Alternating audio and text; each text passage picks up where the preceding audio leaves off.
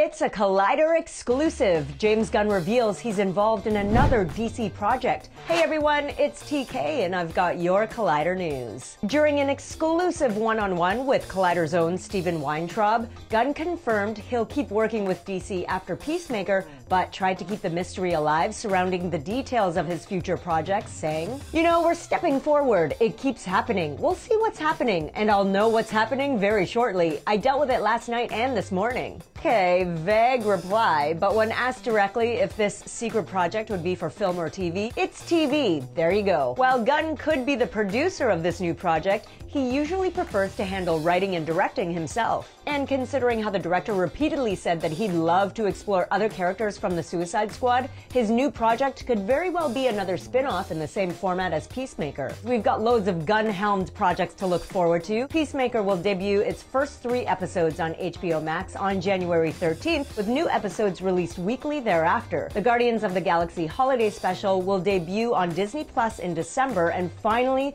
Guardians of the Galaxy Volume 3 is expected to hit theaters in May of next year. Stay tuned to Collider.com for more from our exclusive with James Gunn, and of course, all of your movie and TV news, trailers, and reviews.